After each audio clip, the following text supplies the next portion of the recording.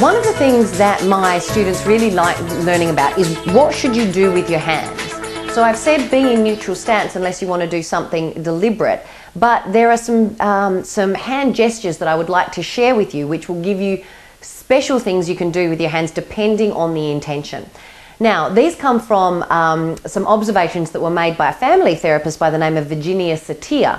And Virginia Satir, when she looked at um, her clients, she realized that there were particular stances and postures that they went into from time to time, which caused a deliberate emotional response in the audience. So these hand, these gestures and stances that I'm about to share with you will invoke a moment-to-moment response in your audience that will get an, uh, which will cause them to feel emotions based just on how your body's standing. For instance, if I if I look at you like this, you're going to feel a little different to if I look at you like this, right? So let's have a look at what these five categories are and see if you can start to employ them inside of your presentations. So the first one I want to share with you is called the blamer. Now the blamer stance is going to elicit a, um, elicit a response in the audience where they feel like they're being told off or blamed. They're going, to, they're going to retract. And let me show you what the position is and then you'll see why.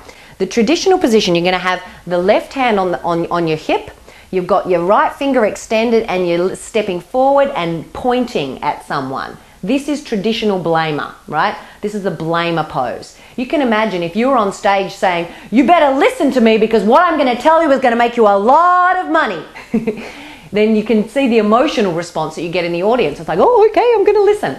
So that's the blamer posture and it elicits that kind of an emotional response. The next posture I'm going to share with you is called placator. Now, the placator posture is quite an ingratiating posture, and it's one that women shouldn't use too much. But let me show you what it is first.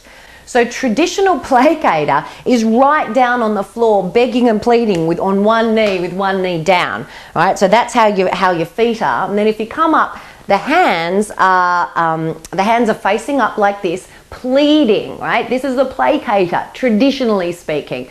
Now, it's not very often you're going to get right down on all fours on the stage but it can have a very powerful impact, especially in large arenas if you do.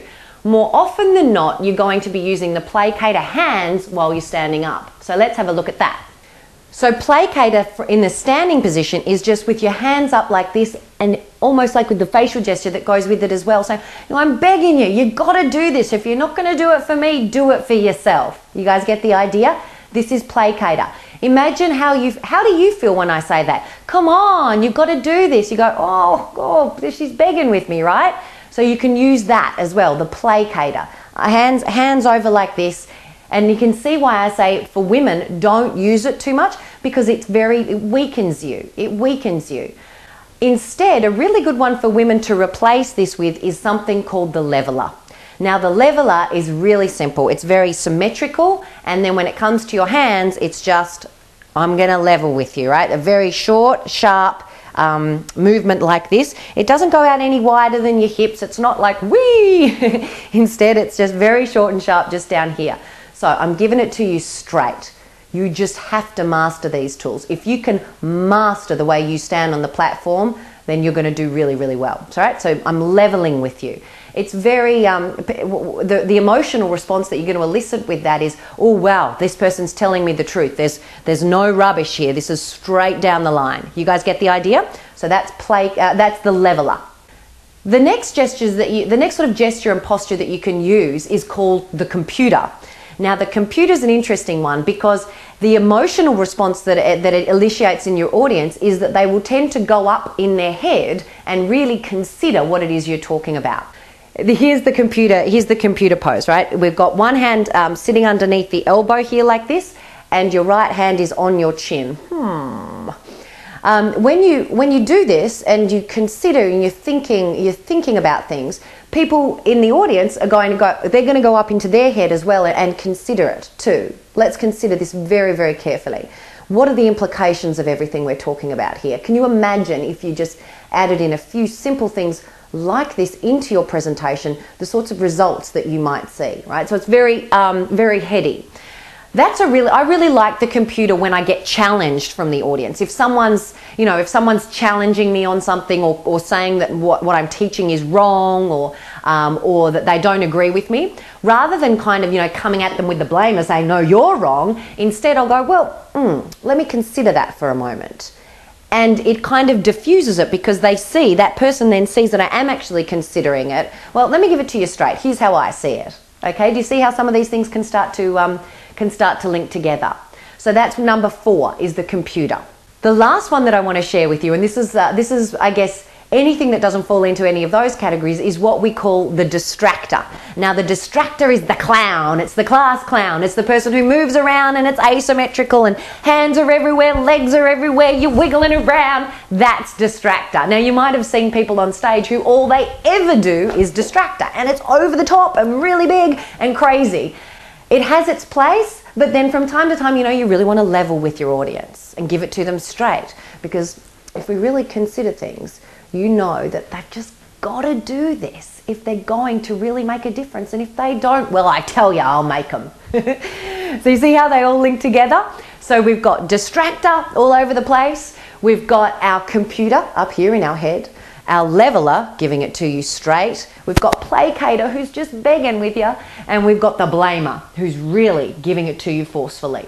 So use those five satir categories in your presentations and you're going to add another whole dimension to what you're doing. Now, just one last piece on these satir categories. Don't get hung up on what they're called, on the names of the poses. They've just got names so that we, I can teach them to you easily.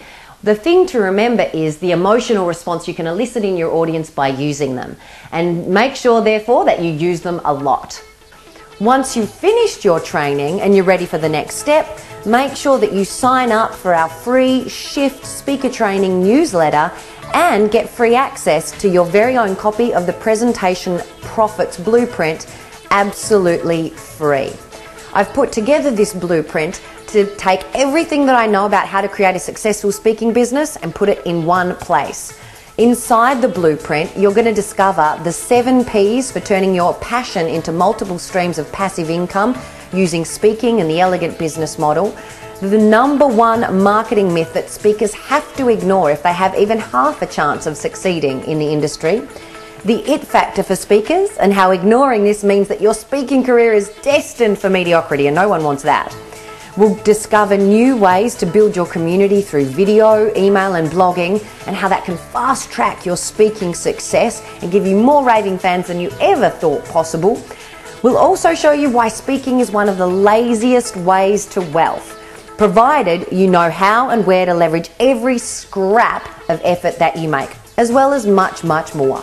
So, in order to download your very own copy of the blueprint, take yourself to www.shiftspeakertraining.com slash blueprint. Look for the sign up form right there on the website.